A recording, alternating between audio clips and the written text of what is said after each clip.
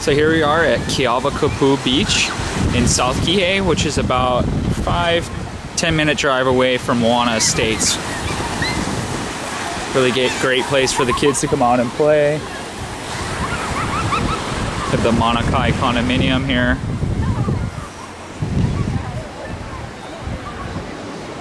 And uh, just a pretty spectacular place overall. So this is Keawakapu Beach, right on the border of Kihei and Wailea. Aloha.